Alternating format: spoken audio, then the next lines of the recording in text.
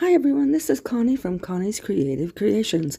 Today I'm taking part in the Easy Peasy Lemon Squeezy Challenge, and we'll get to a little bit more information on that in just a minute. But I wanted to welcome you to my channel. If you are new, I'm so glad you're here. Think about hitting that subscribe button, notification bell. Give me a big old thumbs up and a comment if you would like. If you're a returning subscriber, welcome back. Now let's get into this. All right, this is a 12 inch wood round. I purchased them from Amazon. I get a package of 12 uh, for $12.99. So good deal. All right, so I am taking um, Waverly's uh, chalk paint in maize, and I'm going to completely cover this uh, round in this color. Now, I decide at the end that it's not the exact color I want. So I put another color over it. But this helped with the opaqueness to get the full coverage that I wanted. So once this is done then and dried, that's when I decide to change it. And it's a pretty color. It's a beautiful color. It's just not the exact color that I intended this to be.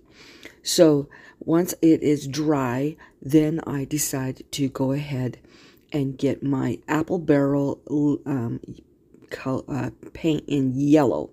Now I am a plaid ambassador and these paints, Waverly, Folk Art, Apple Barrel, Mod Podge, they're all plaid products. Now this is a much uh, sunnier yellow and that's kind of what I was going for. I could have left it and it would have been okay, but I just like this one a little bit better. So once it is, once it is dry, then we're going to move on to the next portion. Now I had gone on my Cricut and I had um, cut out the words hello in white vinyl and this is Oracal 651 in matte white. So I am just uh, weeding this with my weeding tool and this I've gotten really good at weeding. I don't usually have any issues anymore. Occasionally I run into it, especially if it's little small writing or something or small details. But I use peel and stick for my um, my uh, transfer tape. So I am just cutting a piece off of this and I just, once I'm done, I hook it to my pants a couple of times. That defuzzes it so it's not too sticky.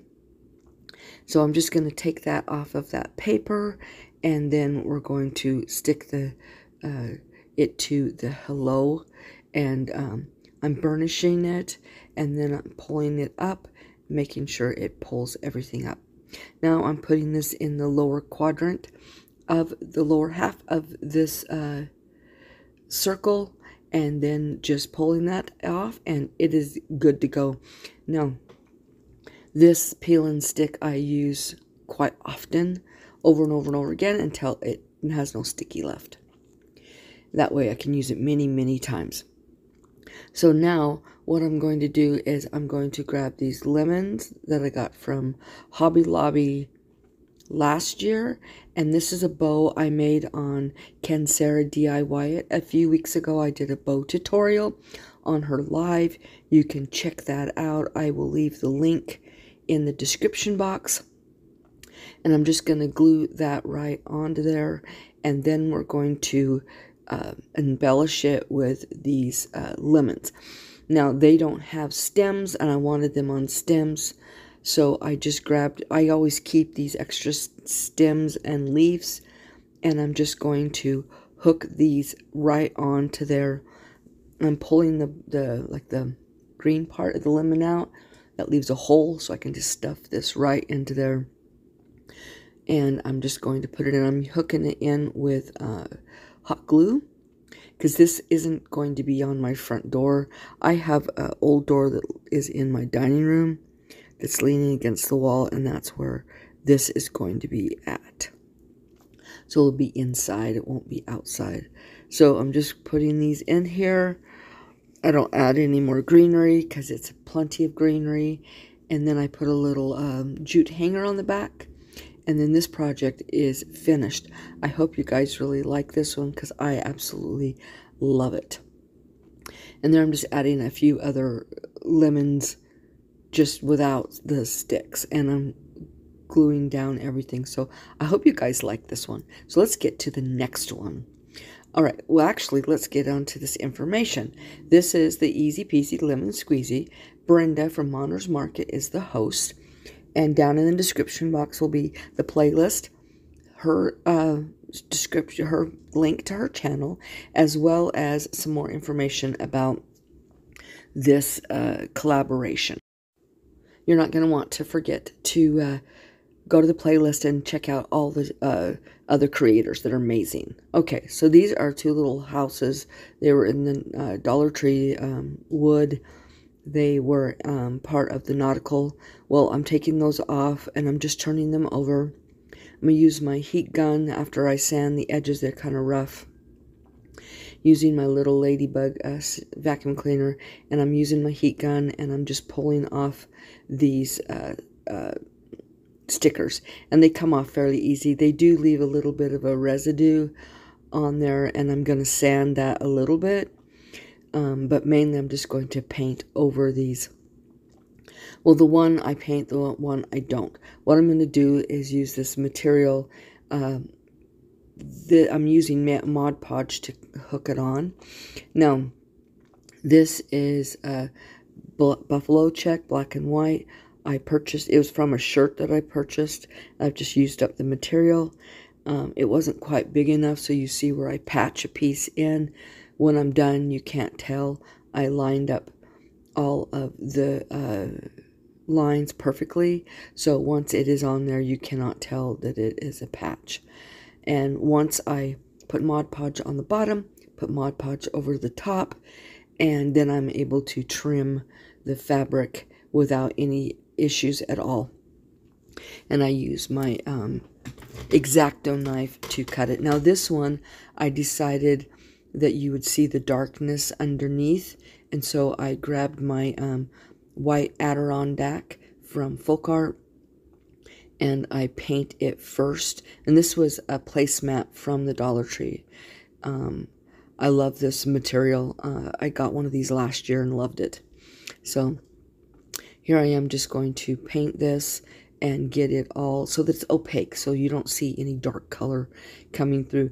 The black and white, it didn't matter, but this is because there's so much white it makes a big, big difference. So I am just drying this and then I'm going to use Mod Podge and I'm going to hook this uh, part of this placemat right on there. So I'm just putting the Mod Podge and this is, um, I think this is the mat that I'm using on on this. No, it yeah, it is the mat. So I'm just putting it underneath and over the top and sitting it aside and letting it dry. Now, um, it doesn't, Mod Podge doesn't take very long to dry, especially if you use a heat gun on it. So I am just getting this all done and then all dried, and then we'll move on to the next um, section of this. Here I am just cutting it, and I've got one of those little uh, mats from the Dollar Tree to use for cutting things. I figured this was small, wouldn't matter, wouldn't have to get my large one out. So I am just, um, and this is a self-healing mat. So I'm just getting this all cut and making sure that it is looks nice and crisp and clean around the edges.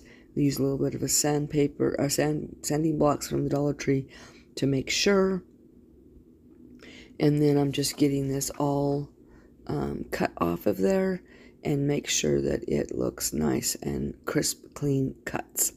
And then after this is done I am going to grab some ribbon. And the ribbon is going to be a yellow sheer from uh, Dollar Tree.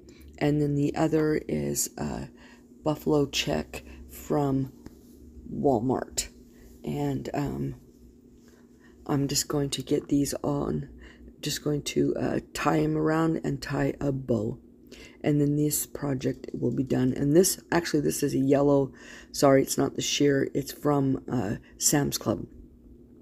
It's like a yellow check. Um, and I'm just putting it around there and tying a bow and calling this good. So, very, very simple, easy uh, projects, but with a high impact. So, yeah, it's just a shoestring bow, and that is all I'm going to do on these this project. And then I'm going to move to the next one.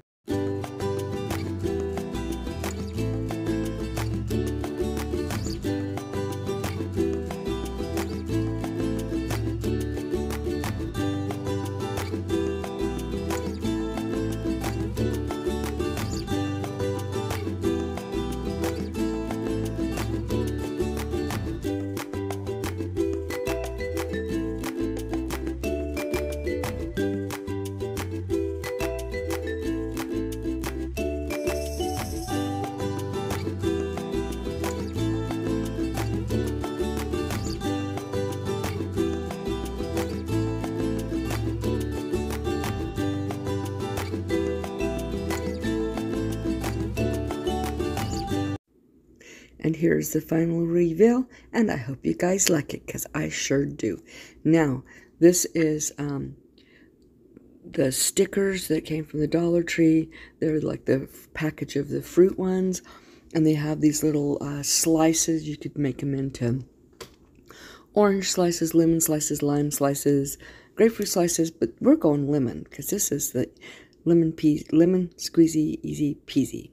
So, I'm just coloring in the white um, in between each one of the slices and then I'm going to do yellow. And I'm doing that on two of these slices. And what we're making is a garland. So I definitely want to uh, make it look like actual lemons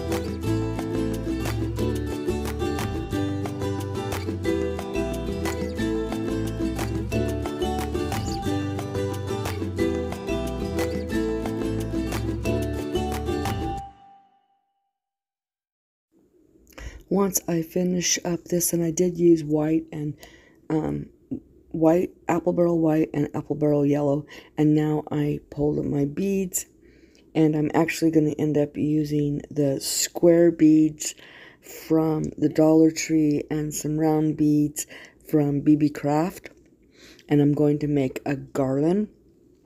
And I used a darning needle, and I um, am using the baker's twine in the yellow and white from the Dollar Tree.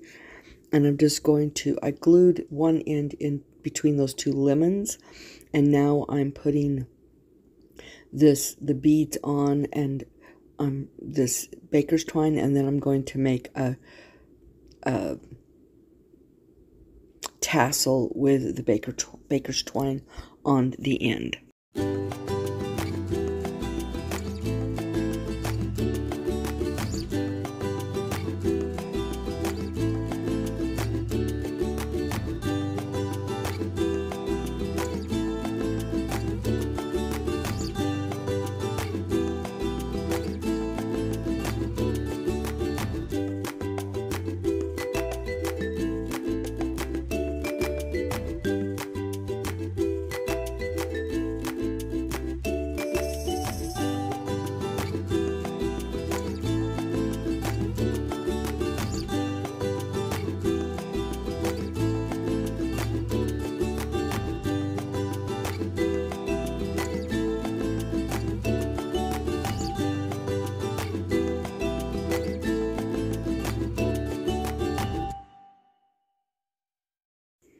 As you can see, I'm just finishing up this little tassel and I hope you guys like these projects.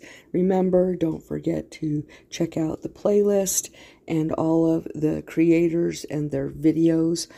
Also, I wanted to, this was new to uh, YouTube.